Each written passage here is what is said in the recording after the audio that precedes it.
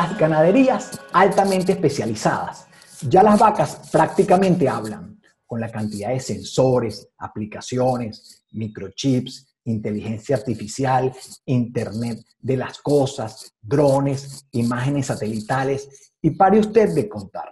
Vemos cómo en la ganadería de precisión cada día hay más soluciones para, como su nombre lo indica, ser bien precisos en la medición y administración de los recursos de las.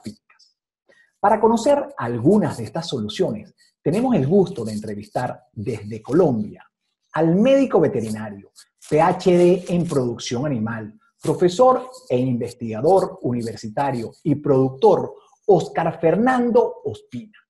Bienvenido, Oscar, a Agro para el siglo XXI. Eh, Luis Eduardo, muchas gracias por la invitación. Muy contento de participar eh, con tu programa eh, y pues hablar de dos temas maravillosos que son el tema de la ganadería y la tecnología eh, en el mundo de hoy. Oscar, antes de entrar en todas las tecnologías que ustedes han desarrollado y todas estas aplicaciones que existen hoy para la ganadería, ¿qué fue lo que te impulsó a ti a meterte en el desarrollo de todas estas aplicaciones? Eh, bueno, es una pregunta maravillosa. Yo he identificado, digamos, como tres momentos en mi vida que han sido claves. El primero, eh, en el colegio, cuando estaba muy pequeño, 12, 14 años, que fue la introducción de las computadoras en el, bachillerato, que nos abrieron una cantidad de, digamos, de, de oportunidades en nuestra mente de, niños y de jóvenes en ese punto sobre el uso de las computadoras y sus oportunidades. Después ya como profesional, tuve oportunidad de, trabajar en investigación sobre sistemas de información con la GTZ aquí en Colombia y el ICA, en un proyecto eh, de investigación sobre sistemas de información que me dio, digamos, mucha fundamentación y nos dio las ideas de que en Colombia podríamos desarrollar la tecnología, no solamente traerla, sino que podemos desarrollarla en Colombia y nos dio, digamos, como esa fundamentación. Y ya después, eh, ahorita, digamos, ya desarrollando software desde, los desde el año 95 hacia acá, en el año 2010 a 2014 hubo una revolución tecnológica impresionante que nos cuestionó sobre las nuevas oportunidades que se estaban generando para generar soluciones para la ganadería, alrededor de lo que se denomina la, la cuarta revolución industrial, la 4.0. Eso se integró, digamos, esos nuevos desarrollos tecnológicos, los drones y, y todo este tema de, de, imágenes, inteligencia artificial, todo el Internet, con, con un, también con un cambio que ya se ve en la ganadería, que se ve en la ganadería y que se va dando muy fuerte, y es el tema de que nuestras ganaderías en pastoreo, eh, cuando estábamos trabajando con ellas en nuestros sistemas de información, estábamos muy enfocados a medir el animal, pero muy poco el pasto la pradera, lo que es una contradicción. Si tenemos en nuestro país, en nuestros países ganadería en pastoreo, ¿por qué no medimos las praderas? ¿Por qué no medimos la, la atmósfera? Solo medíamos el animal.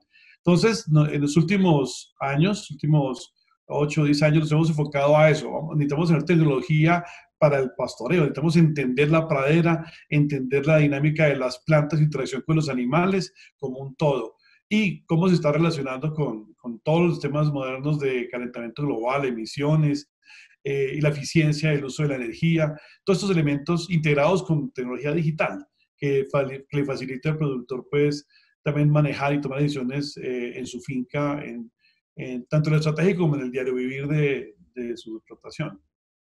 ¿Cómo se está aplicando hoy en día, cosas que están aplicando en otros sectores muy bien, lo que es el Internet de las Cosas? y la inteligencia artificial en las diferentes tareas dentro de las actividades ganaderas? Pues son dos temas que están eh, de punta, están, están eh, generando muy, nueva, muy nuevas oportunidades para todos. La inteligencia artificial, eh, digamos que hace unos 50 años se tenía más o menos claro cómo debería de funcionar desde el punto de vista teórico pero el desarrollo de las computadoras no había dado para materializarla. Hoy en día tenemos computadoras, máquinas suficientemente potentes como para poder eh, materializar inteligencia artificial. Y la inteligencia artificial eh, nos sirve a nosotros en, en las ganaderías eh, para hacer procesamiento de datos, para analizar datos, para entender cuáles son los, los patrones de comportamiento de del sistema de producción y tomar decisiones.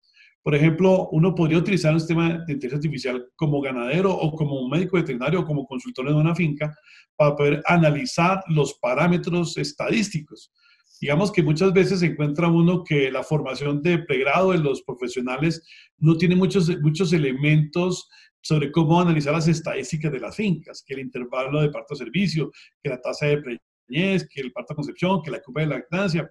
No sabemos cómo procesar estadísticas y tenemos ahí eh, un hueco en los profesionales y los ganaderos. Eso se puede apoyar, eh, se puede solucionar con inteligencia artificial. La inteligencia artificial toma los indicadores de la finca, los analiza, nos jerarquiza, nos prioriza y nos identifica los problemas estratégicos de la finca desde el punto de vista de los números, a partir de los cuales uno como profesional o como ganadero puede eh, apoyarse y, y, tener muy buenas luces para tomar decisiones hacia el mejoramiento de la, de la finca y sus parámetros reproductivos, productivos, económicos, etcétera.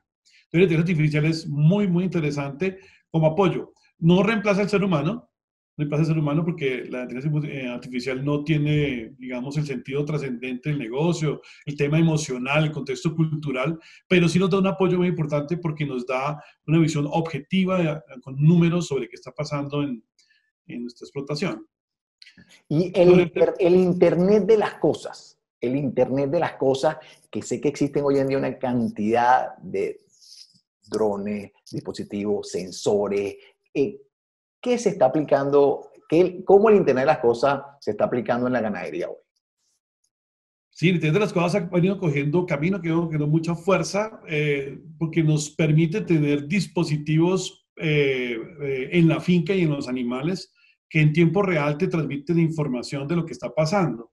Por ejemplo, tú podrías medir en tiempo real la temperatura, la humedad relativa, eh, de tu finca para calcular el estrés calórico con un sensor que, como dice Internet de las Cosas, está colocado en un potrero y que la información sube de manera automática vía, de pronto, eh, redes de celular a la Internet, usando la red normal de celulares se conectan a Internet y la Internet ya la información te llega a, ti, a tu celular o a tu computador para poder eh, tener información, por ejemplo, el estrés calórico. Si, por ejemplo, también si los animales están entrando en celo, un animal está en celo, entonces se podría detectar eh, eh, vía también de las cosas, con un dispositivo que se le colocaría a los animales, a los machos, a las hembras. También podrías tener, por ejemplo, el control de la rotación de las praderas, eh, con un GPS que va, que va acompañando el ganado en, sus, en su rotación y usted puede entonces controlar las praderas. Eh, podemos controlar también con esta tecnología los equipos de ordeño. Entonces usted puede encender y apagar el equipo de ordeño o verificar los datos de producción de leche de su vato vía dispositivos pegados también con Internet de las Cosas. Eh, entonces hay una gran cantidad de herramientas eh, súper novedosas que nos están permitiendo medir cosas que antes pues era imposible medir. el, el, el, movimiento del ganado, por ejemplo, de su rumen, eh, para que se transmita directamente a, una base de datos, si el animal está rumiando o no está rumiando, la temperatura corporal y poder después eh, correlacionar toda esa información, que ahí es donde se une Internet de las cosas con inteligencia artificial. Entonces uno podría hacer un análisis y poder entender eh, si algo está saliendo de lo normal y prender alertas para las fincas. Por ejemplo, por ejemplo, en el caso de las cuelleras o de los, o de los podómetros, ¿Cómo funcionan? ¿Me puedes explicar cómo funcionan? ¿Cuál es, cuál es, cómo, ¿Cómo es el, sistema para que funcionen y qué ventajas le aportan a los ganaderos? Las, las cuelleras se utilizan para, para colocárselas eh, al ganado y poderse hacer el seguimiento y la rotación de las praderas. Entonces puede ser cuelleras de tipo, digamos, individual, donde usted a un solo animal le hace un seguimiento de GPS en cómo, se, en cómo está ubicado en su finca en cualquier momento. O puedes colocarle una cuellera de tipo grupal, en donde usted podría eh, colocarle a una vaca de lato una cuellera y cuando se mueven las vacas de un potrero al otro, pues se va la vaca con la cuellera, transmite la geoposición y se va haciendo seguimiento de la ubicación de las vacas en tiempo real. ¿Eso qué nos permite? Nos permite poder tener la información de la rotación de las praderas de manera exacta. Eh, con esa información de rotación de praderas podemos hacer muchos análisis, por ejemplo, correlacionar la edad de cosecha contra la composición nutricional y ver si la pradera tiene un punto óptimo para pastoreo. Puedo hacer estimaciones de la velocidad de rotación, si se me está acelerando, es porque me estoy quedando sin pasto y tengo que meter suplementos o complementos. Si estoy ya rotando muy despacio, es porque me está sobrando comida y yo podría entonces eh, meter más ganado o soltar algunos potreros. Es decir, nos permite tomar estas cuelleras mucha información en tiempo real de lo que está pasando en los potreros y su desempeño. Eh, también se pueden utilizar, eh, digamos, me estabas preguntando por los podómetros. Los podómetros se utilizan para hacer conteo de pasos, la frecuencia de pasos, y, eh, por ejemplo, determinar si una vaca está entrando en celo. Eso también se conecta con el equipo de ordeño, puedes mirar la dinámica de los pasos y determinar cuando los animales están en celo en, en, la ganadería. Uno de los grandes problemas en las fincas que están organizadas, que usan inseminación artificial, tanto de leche como de carne, uno de los grandes problemas es la detección del celo. El celo los celos nocturnos muchas veces se pierden porque los recelados, la gente que está viendo no detecta el celo, entonces pierden 21 días para volver al otro celo, entonces se pierde mucho tiempo. He, visto que se han desarrollado una cantidad de cosas, de, de, Internet de las Cosas también y las transmisiones GPS, que le permiten al ganadero saber en su celular cuándo la vaca está en celo con mucha mayor exactitud que la que puede ver una, alguien con los, con los ojos. ¿Qué, ¿Qué, han desarrollado para esto? Eh, sí, precisamente uno de los puntos claves de, digamos, en el éxito de un programa de inseminación artificial es la detección de celos. Los programas de inseminación artificial son, eh, todo el mundo, digamos, se emociona, son interesantes para las fincas, pero cuando lo van a implementar, el escollo, la detección de celos, echa abajo los programas de inseminación artificial en muchas ganaderías. Entonces, para, para ese tipo de situaciones, eh, se tiene la oportunidad de utilizar tecnología que use Internet de las cosas. Entonces, tú le colocas eh, un arnés que tiene un lector de chip a un, a un, macho recelador, le colocas un microchip en el sacro de una vaca y de las hembras, y cuando la hembra entra en celo, el macho la monta, y al montarla, eh, el, el, chaleco, el arnés, detecta qué vaca es y transmite la información vía GSM, es decir, vía antenas de celular. Esa información baja a, los servidores de Internet, a las plataformas de Internet, y desde allí se mueve para varios lados. Uno, le llega al celular del inseminador, donde le dice que la vaca fulanita de tal entró en celo hoy a las 2 de la mañana o a la 1 de la mañana, y una vez, como sabes, la hora exacta en que entró en celo, puedes programar exactamente la hora de inseminación, lo que mejora la fertilidad, la oportunidad de preñez. Eh, eh, adicionalmente, la información se descarga en los software de bases de datos, entonces en la historia de la vaca automáticamente queda cargada la información de los celos y de los servicios y tú puedes entonces hacer análisis muy exactos de la dinámica de celos, a qué hora son los celos, las tasas de preñez, ya todo automático, ya no hay que digitar los, los celos, sino que automáticamente quedan, quedan registrados. Los trabajos que hemos hecho en campo nos han eh, demostrado que en las fincas con una detección manual eh, o, digamos, con, con, personal de campo, está dando un, eh, alrededor de un 35 o 45% de detección de celos de las vacas. Cuando montamos estos sistemas, la detección puede subir a un 70-75%, o sea, dobla la detección de celos de las fincas, lo que mejora los parámetros, mejora los días abiertos, mejora los servicios por concepción, mejora las tasas de preñez, por supuesto, aumenta la leche y la productividad de la finca. Y en los, celos, los celos nocturnos, ¿tienes alguna estadística que te diga eh, cuánto mejoras en los celos nocturnos utilizando estas tecnologías? Eh, sí, es maravilloso el efecto. Que digamos que nosotros hemos eh, detectado que más o menos un 30%, 35% de los celos son de noche. O sea, tipo 10, 11 de la noche, 1, 2, 3 de la mañana, que son imposibles de detectar con un empleado, porque a esa hora no, hay gente trabajando en, en, potrero, y esos celos se detectan con estos sistemas electrónicos, es muy, muy bueno. Y otro punto también que es muy positivo es con las novillas, porque cuando usted tiene una lechería, pues usted lleva las vacas dos veces al día y pues algo detectas los celos, pues presente por estar observando durante los ordeños o mientras recoges el ganado. Pero el novillaje está mucho más distante y la gente no lo ve con la misma intensidad que el ganado de ordeño. Entonces, hemos visto un impacto muy importante en la detección de celos de las novillas para inseminación artificial. Usted las puede dejar en su potrero con su descelador y cuando entra en celo, pues simplemente el celular te dice está en celo o el software dice que está en celo y tú puedes ir a inseminar el animal de una manera muy eficaz, de una manera muy efectiva. Uno de los desarrollos más impresionantes que yo he visto actualmente, que, en verdad, y en verdad es una solución para los ganaderos impresionante, es la, tomar fotos con drones de las pasturas, de los, de los potreros, sobre todo en estos sistemas que se usan los sistemas de rotación Boissan, que son rotaciones intensivas, que son las, más, las más efectivas hoy en día y las que puedes producir más carne o leche por, por hectárea, que toma fotos con los drones. Luego esa foto la procesas en un software con unos, con unos algoritmos y te dicen en tiempo real cuál es el contenido nutricional de los pastos. Antes tenías que hacer unas pruebas con un laboratorio que mandaba los pastos y cuando tenía los resultados ya el animal se había comido las pasturas, o sea, no te servía prácticamente para nada. Con estos sistemas, ¿cómo funcionan y, qué soluciones reales le dan al ganadero estos software con estos aplicándolo, tomando la foto de los drones? Pues ha sido una revolución. Aquí en, en Colombia ahorita una revolución eh, importante con todo este tema de la aplicación de los drones. Nosotros sabemos que los drones estaban en, una, en el futuro de la ganadería, pero ya ni siquiera es en el futuro, ya están en el presente la ganadería precisamente con este tipo de soluciones. Eh, la, lo que se hace con estos drones, como tú cuentas, es que uno va por las mañanas, levanta el dron, fotografía las praderas y en tiempo real tienes exactamente el nivel de proteína, fibra, energía de la pradera y tú puedes balancear inmediatamente. Digamos, si tú pasaste del potrero a otro y detectas que el nivel de energía y de proteína eh, descendió, entonces tú puedes tomar una corrección inmediata. Sabes que le va a aumentar el grano, le va a aumentar la energética del alimento balanceado y de esa manera poder optimizar la pradera.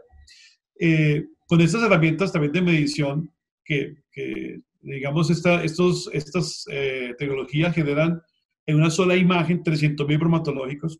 Tienes un bromatológico de superficie, tienes no solamente un muestreo de algunas plantas del potrero, sino que tienes toda la superficie de, de la finca o del potrero que estás analizando con su composición bromatológica. Entonces, puedes hacer muchas otras cosas. Por ejemplo, puedes comparar entre gramíneas. Oye, ¿qué gramínea está dando mayor calidad nutricional en mis, en mis condiciones climáticas y en mi suelo, eh, la gramínea A, la B y la C. Entonces está dando más proteína y energía la, la B. Entonces yo puedo saber qué planta está mejor adaptada y dando mayor calidad nutricional.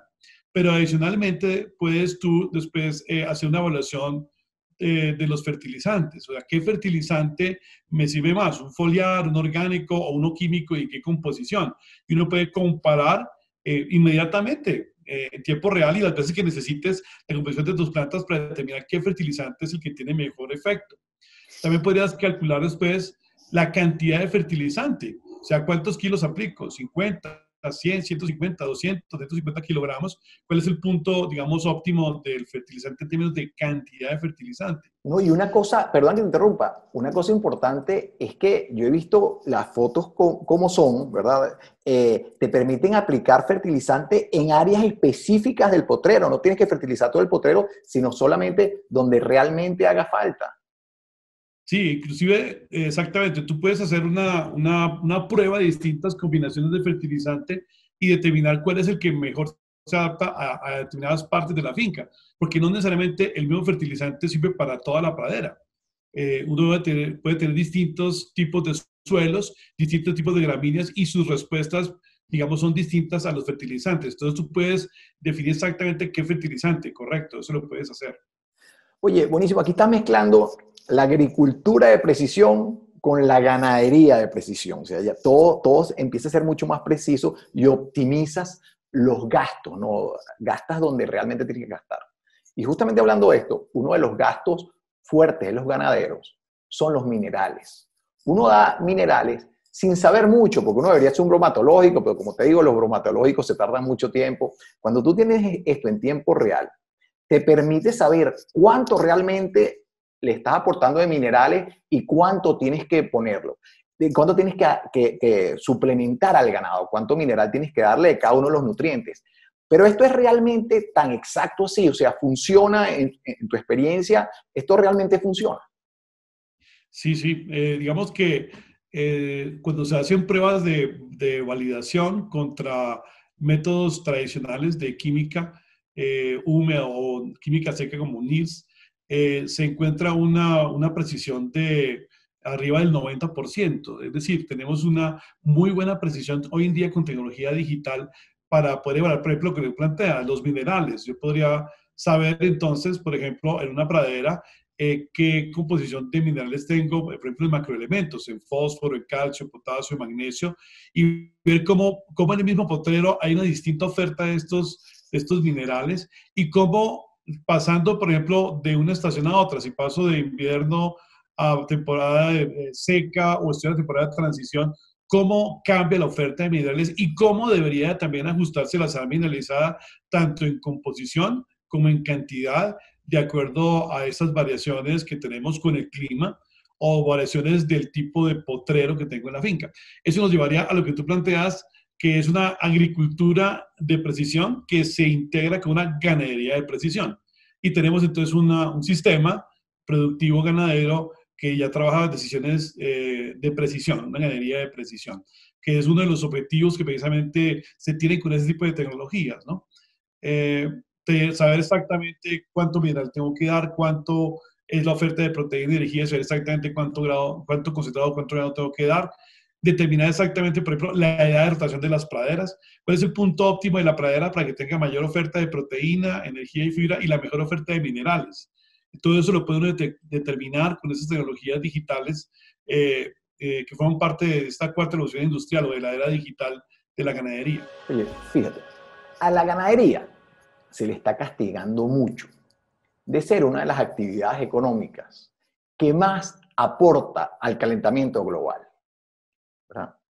Yo sé que hoy existen algunos software que te permiten medir cuán eficiente estás, estás siendo para producir un litro de leche o un kilogramo de carne. O sea, cuánto realmente, cuánto carbono estás consumiendo, cuánto estás aportando, ¿verdad? E, e, ese balance de carbono, que es lo que, lo que influye en el calentamiento global, ya hay software que te permiten decir, cuando tú analizas todas las actividades de la finca, cuánto realmente estás consumiendo para producir un litro de leche o un kilogramo de carne.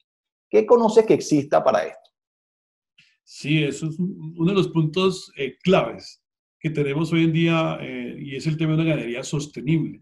Nosotros necesitamos propender porque nuestra ganadería sea una ganadería eh, que sea amigable con el ambiente y que, mm, digamos, contribuyamos positivamente en favor de, la, los gases de efecto invernadero. Ahora, lo que sucede es que hay mucha especulación con respecto a, estas, a estas cifras. Eh, entonces uno se ve bombardeado como ganadero, como profesional, con las redes sociales en donde, como tú dices, eh, pues estigmatizan la ganadería como la generadora de gases de invernadero, lo que no es necesariamente cierto. Eh, pero ¿qué hay que hacer? Pues hay que medir, hay que cuantificar exactamente cuánto es lo que la ganadería está capturando en CO2 en sus praderas cuánto está emitiendo con su ganado y cómo quedó al final el balance de gases, que, que es lo que realmente va o no a aportar al calentamiento global. Eh, precisamente en esa dirección se ha desarrollado tecnologías también eh, RGB, eh, que a partir de uso de drones, con imágenes RGB de las praderas o de, de los potreros, se analiza la tasa de fotosíntesis que tienen las plantas, las gramíneas. Con la tasa de fotosíntesis se puede eh, saber, se puede calcular cuánto CO2 ha capturado las praderas en la rotación que está haciendo uno en la finca. Si ya sabemos cuántos kilos de CO2 capturaron las, praderas en la fotosíntesis, en la, en la rotación, después podemos calcular entonces cuánto fue lo que las vacas emitieron con, con su respiración y con su, con su metabolismo y de esa manera poder tener el balance de gases, saber cuánto capturó las plantas, cuánto emitieron las vacas y ver cuánto eh, realmente es lo que generó eh, hacia la atmósfera. Los datos que nosotros tenemos nos están mostrando que la información en números es como unos 12 o 15 veces menos gases de efecto invernadero de lo que antes nos estaban, eh, digamos, planteando. Porque si usted calcula la vaca solamente emitiendo, pues obviamente la emisión de gases es, es la que tiene un ser vivo normal. Pero las vacas eh, viven en un sistema ganadero en donde las praderas han capturado el mismo CO2 que ellas están emitiendo. Entonces, al final la cuenta es casi neutra. No, no es que sean una emisión altísima, sino es casi neutra. Ahora, eh, si usted tiene, eh, digamos, eh, una pradera bien manejada, una ganadería eficiente, puede tener una emisión de gases más baja. Y si le queda un balance todavía positivo, pues entonces usted puede utilizar árboles, en sistemas pastoriles, en cercas vivas, en árboles dispersos, en bosques, y usted puede hacer en su finca y capturar exactamente el mismo CO2 que falta por capturar y quedar completamente neutro. Si ya lograste llegar a estar neutro y tener tus números exactos sobre qué, cuál es tu balance de gases, la siguiente pregunta que sigue es cómo está tu huella de carbono, que es lo que tú planteas. Ok, yo estoy en neutro, pero ¿cuál es mi eficiencia en el uso del carbono?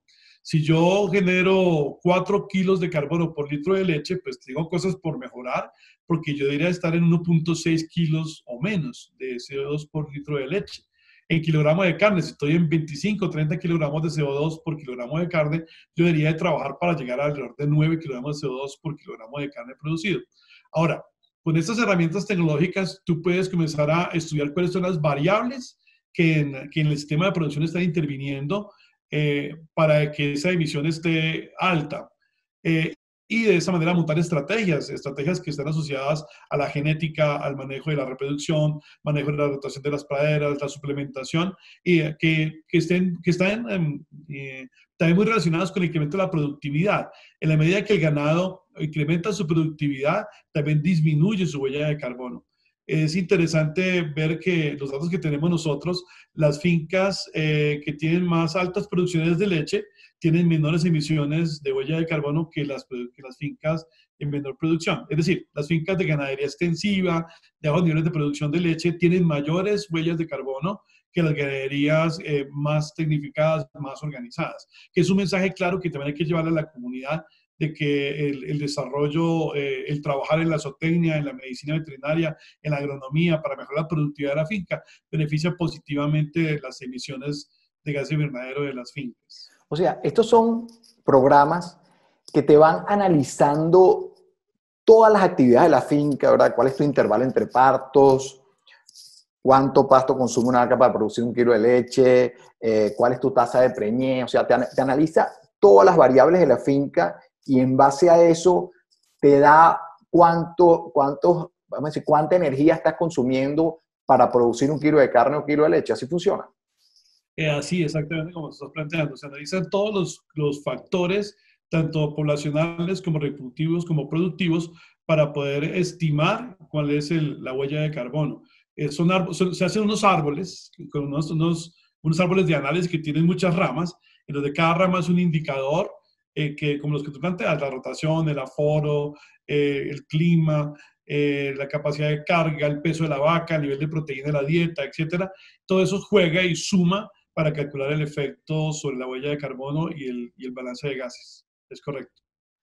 Oye, eh, a mí me parece, eh, o, lo, que, lo, que, veo, es que todas estas tecnologías donde las vacas, como yo, digo que prácticamente hablan por la cantidad de sensores y todo lo que se puede medir una vaca, está mucho más desarrollado en, vamos decir, en países europeos, Nueva Zelanda, en Australia, en, muchos otros lugares, que lo que estamos haciendo en Latinoamérica. Tal vez en algunos países, puede ser Brasil, algunas zonas de Argentina están un poco a la par, pero en el resto de nuestros países, sobre todo los países tropicales, vamos un poquito atrás. Y creo que eso es lo que nos hace perder un poquito de competitividad cuando tú ves los precios de los productos, de un queso, de la carne en los diferentes lugares. ¿Cómo, ¿Qué perciben ustedes en Colombia? ¿Cómo, cómo, cómo, ves la ganadería en Colombia y en Latinoamérica? Yo sé que tú viajas muchísimo con, el, con Europa, por ejemplo. Yo veo que nosotros tenemos unas fortalezas enormes, enormes, eh, porque digamos que hay un, punto de diferencia. Los países industrializados están produciendo leche y carne en sistemas estabulados. Entre otras cosas porque sus condiciones climáticas así se lo exigen. Eh, al estar en un sistema estabulado, pues entonces el esquema es de un TRM con unos cultivos y, una dinámica de infraestructura muy fuerte. Eh, en los países tropicales, como tú planteas, tenemos una forma, una oportunidad distinta de producir, en donde la base esencial de la producción eh, es el pastoreo, las praderas. Y eso es una fortaleza enorme para temas eh, de una producción con bienestar animal, de una producción con sostenibilidad, en donde tenemos unas, unas grandes oportunidades de producir.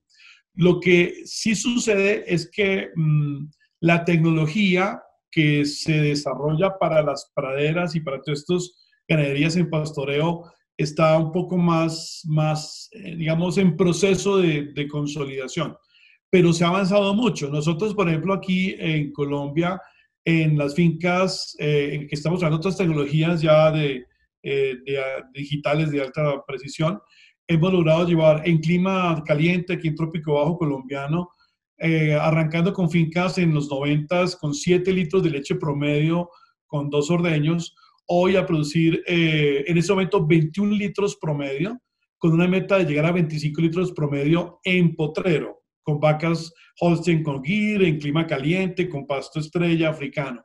En clima frío en la sabana de Bogotá, eh, ha habido un progreso muy importante. En los 90 uno podría plantear que las fincas buenas estaban en 14, 15 litros, de repente digamos a 18, 20 litros. Hace unos años ya estábamos hablando, unos 10 años, estamos de unos 20, 25 litros de leche eh, en, pastoreo.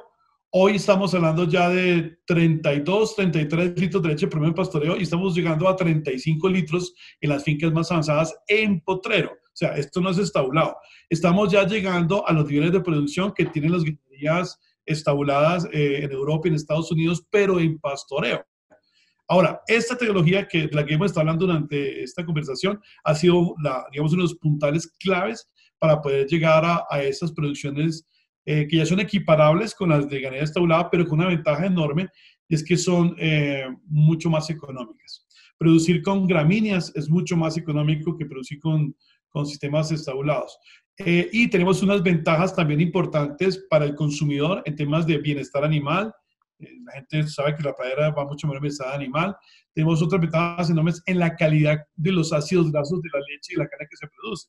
Los ácidos grasos que producen las praderas, como los quicuyos, los regrases o los climas, pastos tropicales, eh, tienen más ácidos grasos insaturados, omega 3 y, y, y ácido oleico conjugado, el CLA lo que hace que las leches y las carnes que se produzcan sean eh, positivas para la salud. Distinto al ganado que ha sido criado con estabulación, en donde la base de alimentación del maíz hace que los ácidos grasos eh, que se producen en esas, en esas ganaderías, en su leche y en su carne, tengan más problemas eh, de la salud de las personas. Por eso se, se, planteaba, se plantea de manera general que la leche de repente podría tener efectos en la salud, negativos con esas grasas saturadas. Pero cuando es una leche en pastoreo, tiene beneficios enormes para la salud, inclusive para el Alzheimer. Uno de los puntos que se coloca como prevención es consumir leche y carne de ganaderías o de animales criados en pastoreo. Entonces, viendo esto, sumando, podemos decir que tenemos grandes oportunidades en el, bienestar, en el, en el tema de los costos, en el tema de la salud humana que está alrededor de esto. sin duda, vamos a decir, la carne y la leche producida con los sistemas de pastoreo que usamos en el trópico tiene una cantidad de beneficios y, y, bueno, para, para, el clima y para el planeta son mucho mejor. Pero yo me refería es que en estas ganaderías los promedios de producción en todas las fincas en los países desarrollados es muy alto. Tú estás hablando de, de estás logrando 20 litros en promedio versus ahí están hablando de 40 litros o más y es la mayoría de las fincas en, Latinoamérica y en nuestra zona eh, son muy, es muy poco el porcentaje de fincas que están trabajando con estas tecnologías que, hemos estado hablando. El porcentaje es mínimo. Entonces, por eso tú ves las diferencias de precios, por lo menos eh, entre un queso holandés hecho en Holanda, que lo ponen aquí en Latinoamérica a un precio más barato de lo que lo producimos aquí en Latinoamérica. Entonces, eh, a medida que estas tecnologías se implementen, yo pienso que vamos a ser más competitivos, pero estamos en ese proceso, ¿no? Sí, señor, tienes toda la razón. Digamos que nosotros eh, hemos venido avanzando, pero tenemos muchísimo camino por recorrer. La mayoría de nuestras ganaderías todavía se manejan con sistemas eh, extensivos, tradicionales, de bajos niveles de producción. Tenemos ya la tecnología, ya, ya o sea, con esa tecnología que, que es donde vemos que, que, va hacia donde va el futuro. esa tecnología 4.0 es una gran oportunidad para, para, estas, para estas ganaderías en pastoreo, es lo que nosotros vemos, porque nosotros nunca hemos visto fincas en 35 litros promedio aquí en, en pastoreo en Colombia. Es la primera vez que logramos llegar a esos techos de producción y el clima caliente 25 litros son techos, lo que nos muestra que sí se puede hacer. Lo que ya la tecnología existe y esta es una oportunidad con esa era digital de llegar allá. El trabajo que sigue es todo el tema de extensión hacia los productores para que ellos puedan incorporar estas tecnologías y puedan eh, avanzar hacia esta senda del desarrollo y la competitividad. Ahora, si logras tener una ganadería en trópico, eh, produciendo eh, en trópico bajo, en clima caliente, produciendo 20 25 litros promedio, en pastoreo vas a tener una altísima rentabilidad. Y estás en clima frío acá, digamos, en los Andes, produciendo 35 litros promedio en pastoreo, tienes una altísima rentabilidad. Y tienes unos costos de producción de leche inferiores a los que produciría en, un país desarrollado, eh, por lo que implica el sistema eh, de estabilización que ellos utilizan. Sí, claro, claro. Ahí hay que analizar la rentabilidad, por supuesto, porque nuestros costos de producción son mucho más bajos por lo que tú planteas, ¿no? Ya son, todas las ganaderías son prácticamente, sobre todo las más avanzadas, estabuladas. Ahora, Oscar, ¿Cómo ves tú con todo esto que se viene desarrollando, verdad? Y, que es impresionante las tecnologías que tenemos, no solamente para evaluar los animales, sino todo el sistema ganadero, las praderas, como tú lo planteaste, todo. ¿Cómo ves tú la ganadería de aquí a 10 años? Pues es uno de los, de los retos que precisamente ahorita hemos tenido porque aquí con la Federación de Ganaderos y eh, con Fedegan y, y unas universidades se está pensando en, hacer un plan de estudios para formar técnicos y tecnólogos en ganadería sostenible. Eh, ¿Qué vemos hacia el futuro? Nos hemos sentado a debatir, digamos, con la federación y con la, con la gente de la academia, es, ese futuro como hacia dónde va. Nosotros vemos que el futuro de la ganadería eh, va hacia el tema de sostenibilidad. Es el tema de, de, medir y entender exactamente qué está pasando con el sistema, con el equilibrio entre las plantas, las gramíneas, los árboles, el ganado y, toda la, temperatura, la humedad relativa y poder generar entonces un sistema que sea sostenible, eh, tanto desde el punto de vista social, económico como ambiental. Ahora, se entiende que para poder eh, avanzar en esa sostenibilidad y una competitiva en esas condiciones, eh, esas tecnologías digitales son, son, son fundamentales.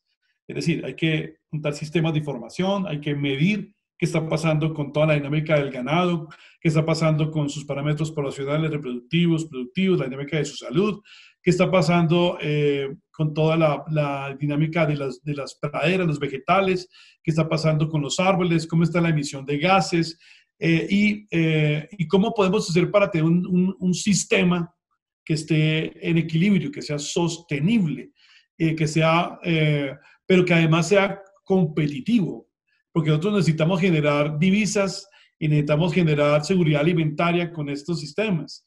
Eh, entonces, no, no, es por hobby que tenemos ganadería, no, la, ganadería es el tiempo que se necesita, necesitamos la proteína animal, pero además de eso necesitamos reemplazar, por ejemplo, en el caso de Colombia, las exportaciones de petróleo que ahorita son base de la economía quedan como unos 8 o 10 años y ahí qué vamos a hacer.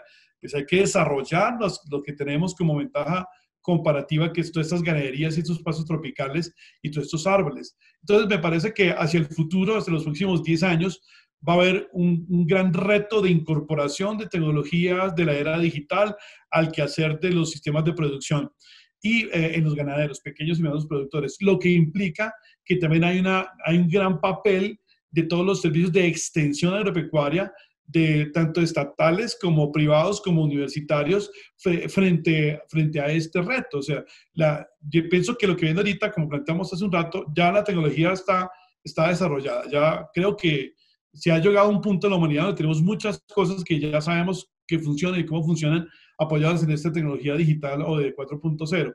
Lo que nos sigue ahorita es implementarla. O sea, que los videos de extensión, como planteaba hace un momento, tienen un reto enorme sobre cómo llevar toda esta tecnología a los productores de manera masiva y que tengamos entonces un salto cuántico de productividad y, de sostenibilidad, porque ya no es producir por producir, sino tendríamos que producir de manera sostenible. Eh, creo que hoy más que nunca, con todo este tema del COVID y las cuarentenas, eh, eh, somos más conscientes como sociedad, como, como humanos, de la importancia de la biología, de cómo un virus es capaz de sentarnos a todos acá en nuestras casas, pero también nos hace reflexionar sobre nuestro papel en este planeta y el calentamiento global y, la, y para dónde va la biodiversidad y, nosotros qué vamos a hacer para garantizarle un futuro a las siguientes generaciones. Entonces, el tema, uno de los temas fundamentales es este, cómo tener una ganadería sostenible eh, en la que la tecnología 4.0 forme parte de la materialización de esa, de esa ganadería futura que tenemos eh, para, nuestro, para nosotros y para nuestros hijos. Sí, oye, es impresionante cómo se ha venido evolucionando en todas las tecnologías de, carácter productivo, pero los modelos de extensión agrícola aplicados por, los gobiernos y por las universidades todavía están un poco atrás, ¿no? Ojalá todo esto pueda llegar a los ganaderos cuanto antes. Oscar, ¿dónde consigue uno toda esta información? ¿Dónde están disponibles todas estas tecnologías? Bueno, eh, tú puedes entrar a la página www.tauruswebs.com eh, y ahí encuentras eh, una cantidad de videos y de, de aplicaciones de tecnología digital para la ganadería. También está la página eh, www.oviswebs.com para el caso de los ovinos y la suinowebs.com para el caso de la porcicultura. Oye, Oscar, muchísimas gracias por este tiempo que has dedicado a esta entrevista, por compartir todo este conocimiento. Espero que pronto nos veamos otra vez las caras aquí en Agro para el siglo XXI. Eh, Luis Eduardo, no, encantado de, acompañarte y compartir pues esta, esta, este rato de, de hablar de ganadería y tecnología, que son dos temas maravillosos, que son compromiso, digamos, de todos nosotros, ¿no? De, de, de tanto los profesionales como los ganaderos, como de la sociedad misma en, en estos contextos que estamos viviendo. Los recursos que tienen hoy en día los ganaderos para ser más productivos y eficientes en sus fincas cada vez son más económicos y adaptables a cualquier tamaño y modelo de producción.